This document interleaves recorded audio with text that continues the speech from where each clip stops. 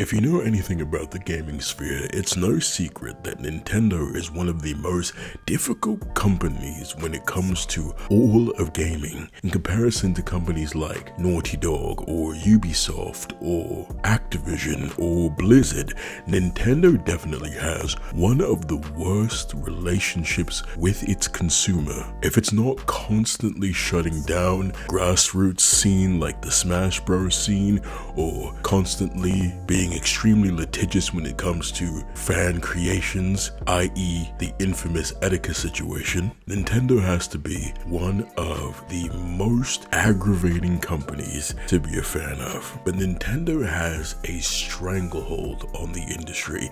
They are the family friendly brand. If your mother doesn't know the name of your gaming console, she's going to call it a Nintendo. Your 80 year old grandmother probably knows who Mario is is. They have survived being a console generation or two behind their market competitors in Sony and Microsoft solely based on their first party titles. But that doesn't stop them from, as a company, being absolutely dog shit when it comes to how they provide a product to their audience. There are two instances I want to take a look at. One prompted by the upcoming release of The Legend of Zelda Tears of the Kingdom, and two is just something that has weighed on my mind for a very long time. Let's start with the second one. Nintendo rarely lowers the price of their video games. And when I say rarely, I mean rarely. I don't think they ever lower the price of their first party games. Let's take a look at one example. The Legend of Zelda Breath of the Wild was nominated for 2017 Game Awards Game of the Year Award. It is a fantastic game it is a great product,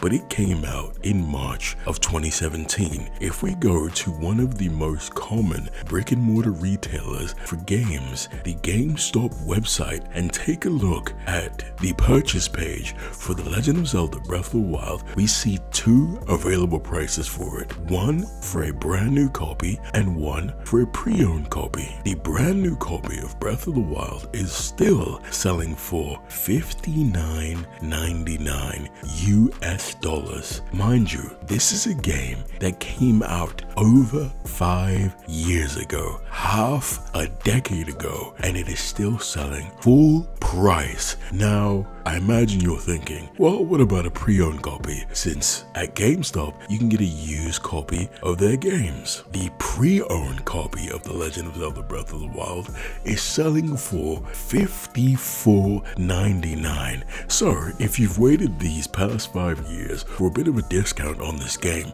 congratulations, you just got $5 off. A lot of people excuse these practices in the gaming industry by saying that games are so expensive now that they have to cost more, that these prices are absolutely justified. And I can understand that for certain things, but let's look at a comparison. Let's look at the games that were nominated for the Game of the Year at the Game Awards for the following year. Six games were nominated Marvel Spider Man, Red Dead Redemption 2, Monster Hunter World, God of War, Celeste, and Assassin's Creed Odyssey. Let's take a look at the top three highest rated games on that list. Marvel Spider-Man, Red Dead Redemption 2, and God of War. These games came out the next year. You can buy all three of those games for $18.99 each pre-owned on the GameStop website. So adding up the pre-owned Legend of Zelda versus three of the nominees for the following year's Game Awards Game of the Year category, it costs $56.97. So if you have two extra dollars, you'd be better off buying those three games instead of The Legend of Zelda Breath of the Wild.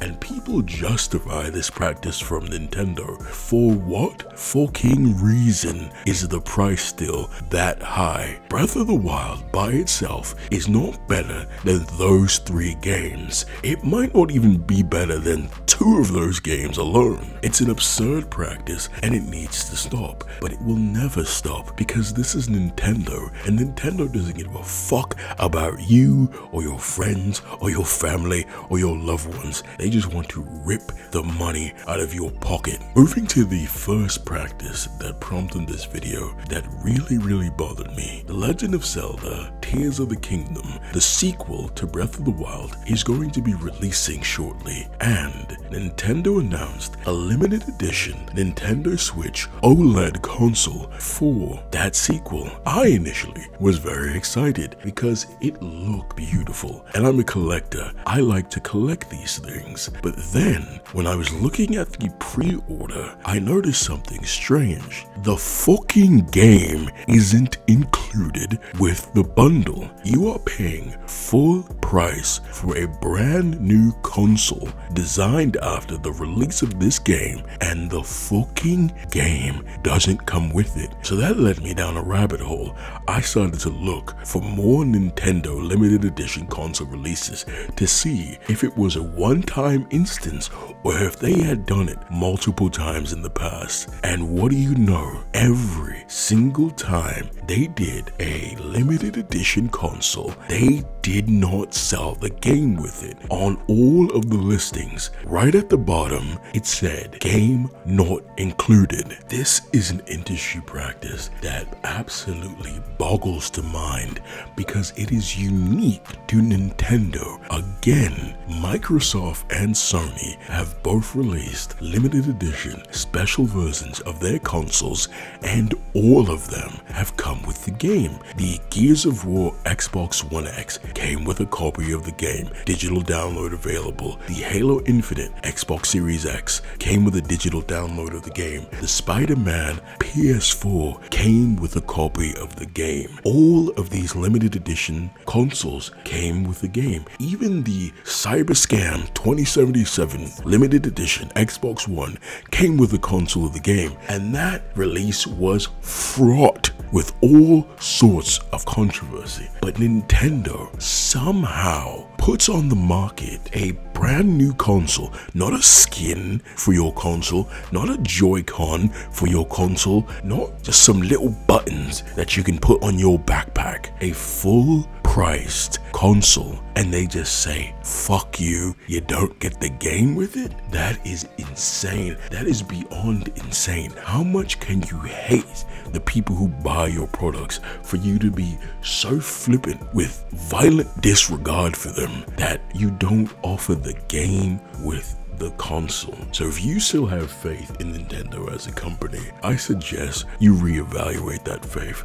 I'm not saying you need to not purchase their products. They do release excellent products. I will continue to purchase a lot of their products in the future. I just know there's certain things they're never gonna get my money for. And those things are limited edition consoles. But I'll still buy their games. So, mm, one out of two ain't bad. 50%. We'll take that. Thanks for watching. Behave yourself.